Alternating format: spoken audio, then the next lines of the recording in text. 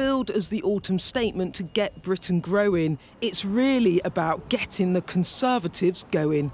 Today, a very retail offer for 2 million workers, the biggest ever increase to the living wage.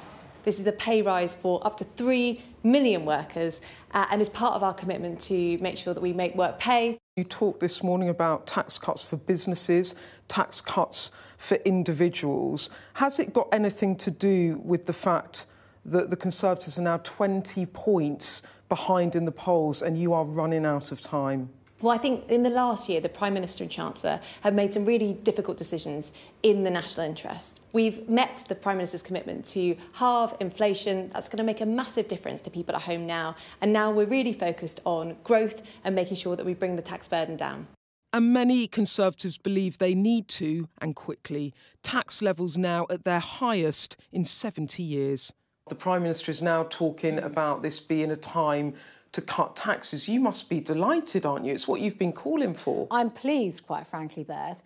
You know, if we can start signalling the route the pathway, that great conservative journey of moving towards lower taxes, that is to be welcome. So, do you want tomorrow to be the moment where the Prime Minister goes for it and he really kick-starts this general election campaign? Well, I'm open for that, totally, on the basis that you know, a year out from an election, we have to be out there speaking about who we are, what we stand for. You say we as Conservatives believe in low taxes. Does the Prime Minister believe in low taxes? You're, Beth, you ask him that question.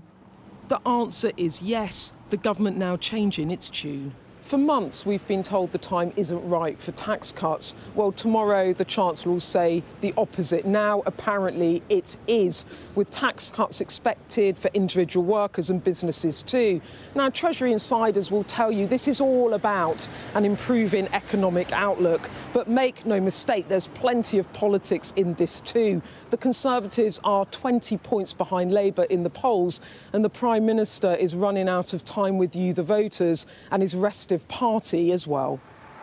But in marginal Conservative Corby, would tax cuts convince voters to stick with Sunak?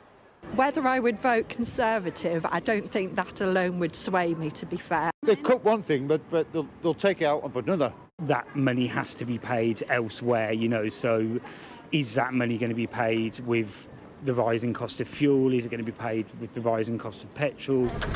Tax cuts expected next spring now coming early. But are the offerings too little, too late? Beth Rigby, Sky News, Westminster.